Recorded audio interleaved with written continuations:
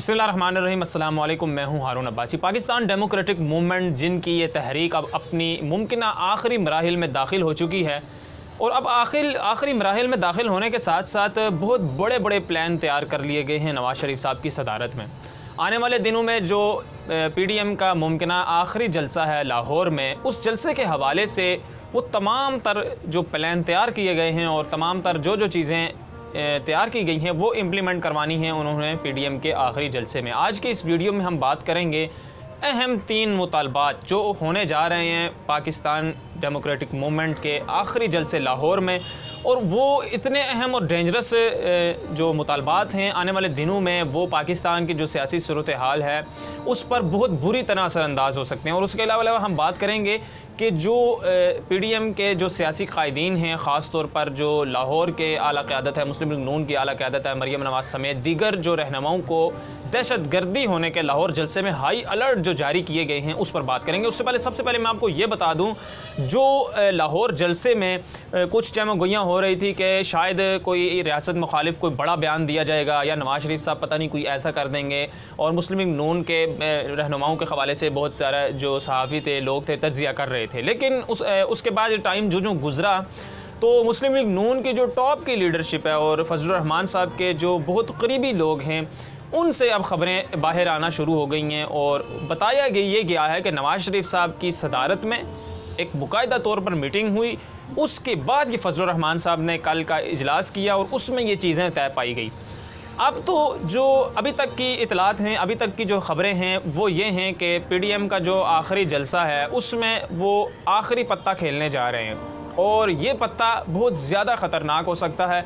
मरियम नवाज़ पहले ही कह चुकी हैं कि अब आखिरी इस जलसे में आर होगा या पार होगा। अब ये सियासी तौर पर अगर इस तरह की कोई बयानबाजी की जाती है, इस तरह का कोई कमेंट पास किया जाता है कि आर होगा या पार होगा तो जो मुबसरीन हैं इस बारे में ये लिखते हैं कि ये बहुत ज़्यादा एक हाई अलर्ट के तौर पर इसको देखा जाना चाहिए। ये कोई एक आम अल्फाज नहीं है कि आर होगा या पार होगा, इसके अंदर बहुत ज़्यादा गहराइयाँ हैं। और ये जितने भी मुतालबात आने वाले दिनों में किए जाने हैं ना, और ये जो चीज़ें सामने आएँगी, ये इसकी कड़ियाँ इसी से मिलती हैं। मुतालबात की अगर बात की जाए तो तीन अहम बड़े मुतालबात किए जा सकते हैं लाहौर जलसे में और वो काफ़ी ज़्यादा ख़तरनाक हो सकते हैं। पहला तो ये कि जो पहला मुतालबात वो करते आए हैं कि वज़ी अजम इमरान खान की छुट्टी और इस मुल्क में इलेक्शन किया जाए। अब तक वो यही करते आ रहे हैं और जो फ़ौज के इदारों के रियाती इदारों के सरबरान के उन्होंने नाम लिए थे, उनको किसी किस्म का तनकीद का निशाना नहीं बनाया था या उनसे कोई मुतालबा नहीं किया गया था। ये किया गया था कि वजी अजम इमरान खान इस्तीफ़ा दें और इलेक्शन करवाएँ, मुल्क में इलेक्शन करवाए जाएँ। जो एडमिनिस्ट्रेशन है मुल्क की, वो इलेक्शन करवाए।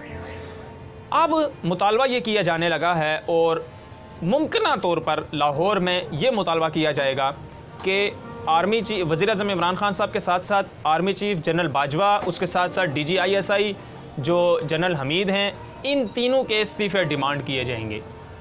और ये ख़बर जो सबसे पहले लीक की थी और सबसे पहले ये जो अंदरूनी मामला की जो खेप में घुस के मोहम्मद ताहिर मलिक साहब हैं बहुत बड़े तजियाकार सहाफ़ी हैं और बहुत ऐसी ख़बरें वो ढूंढ लाते हैं और मुमकिन तौर पर वो सच होती हैं। उन्होंने इस पर आर्टिकल लिखा था पहले शुरुआत में। अब तो ये सारी चीज़ें खुल कर सामने आ, आ चुकी हैं। मुस्लिम नून के जो लोग हैं पीडीएम के जो टॉप की लीडरशिप है वो इस चीज़ का इस चीज़ की तायद कर रही हैं इस खबर की तायद कर रही हैं कि आने वाले दिनों में और तेरह दिसंबर को जो जलसा है, उसमें तीन इस्तीफ़े डिमांड किए जाएँगे। अब अगर तीन इस्तीफ़े ये डिमांड किए जाएँगे और अगर तो ऐसा हो जाता है, जो जिसके चांस बहुत ज़्यादा हैं और मुमकिन तौर पर ऐसा होता हुआ नज़र आ रहा है तो फिर तो आप ये कह सकते हैं कि जो सियासी तारीख़ है पाकिस्तान की ये एक जो मुतालबात होंगे और उसके बाद जो सिनेरियो एक बनेगा, वो पाकिस्तान की बहत्तर साल तारीख़ जो है और सब जितनी भी पाकिस्तान की सियासी तारीख़ है, उससे बिल्कुल मुख्तलिफ़ होगा। क्योंकि आज तक कभी भी ऐसा नहीं हुआ कि किसी भी सियासी जमात की तरफ़ से किसी भी अक्सर क़्यादत के सरबराह का इस्तीफ़ा तलब किया गया हो। और अगर कॉन्स्टिट्यूशन की बात की जाए और कॉन्स्टिट्यूशन में जो चीज़ दर्ज है तो ये आर्टिकल छः लग कर अगर इस तरह का कोई मुतालबा सामने आता है, अगर डका छुपा आता है, फिर भी ये संगीन गद्दारी की तरफ़ सूरत हाल जा सकती है और मुल्क में अनारकी फैलाने की एक जो साजिश है, एक मसाल तारीख़ी कायम हो सकती है।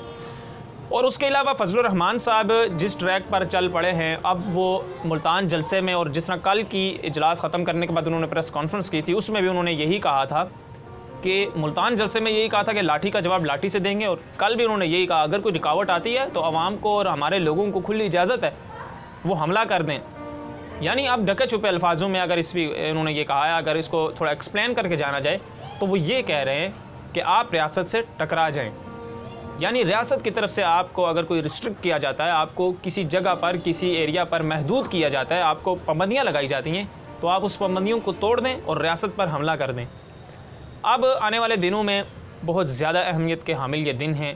तेरह दिसंबर के बाद मुल्की सूरत हाल जो सियासी सूरत हाल है, उसमें एक बड़ी तब्दीली देखने को मिलेगी। और जिस तरह पी डी एम ने अब फैसला किया है कि इस्तीफ़े भी देंगे और असम्बलियाँ तोड़ने का एक अंदिया दिया जा रहा है, वो एक अलग बात है कि असम्बलियाँ जो हैं डिज़ोल्व किसी सूरत नहीं हो सकती। वो इस सूरत में नहीं हो सकती कि अगर तो पी डी एम जो गवर्नमेंट है, उसको चौरासी सीटों तक महदूद कर दे, जो कि नामुमकिन चीज़ है। 172 सीटें गवर्नमेंट के पास ऑलरेडी मौजूद हैं। अब 172 के मेम्बरान 172 मेंबर्स जो हैं, वो कैसे 84 पर जो पीडीएम है, उसको जो है बैक कर सकेगी? वो नहीं कर सकेगी। तो असम्बलियाँ तो डिज़ोल्व नहीं होने जा रही, लेकिन, और पहली बात है कि इस्तीफ़े भी नहीं देंगे। लेकिन आने वाले दिनों में मुल्क की सियासी सूरत हाल जो है, उसमें बड़ी तब्दीली देखने को मिलेगी। और जो कायदीन की तरफ़ से मैं बात कर रहा था कि जो उनको धमकियाँ दी जा रही थी और दहशत गर्दी का जो हाई अलर्ट कल जारी हुआ है, पुलिस की जानब से बताया गया कि आप लाहौर का जलसा मनसूख करने कुछ दिन बाद रख लें। लेकिन अगर आप ऐसा नहीं करते, जलसा करना है तो बहुत बड़ी दहशत गर्दी होने का ख़तरा है। हाई अलर्ट जारी किए गए हैं। तो आप अपनी जो सिक्योरिटी है, वो बहुत ज़्यादा ख़ास रखें और जो सिक्योरिटी अपनी बहुत ज़्यादा सख्त रखें। अब हो ये सकता है, खुदा खास्ता कोई ऐसा हमला किया जाता है या कुछ ऐसा होता है तो इसकी ज़िम्मेदारी आप मुझसे बेहतर जानते हैं कि किस पर आएगी और कौन दावत दे रहा है इस तरह के सारे मामला को और खुलेआम वो किस को ललकार रहा है।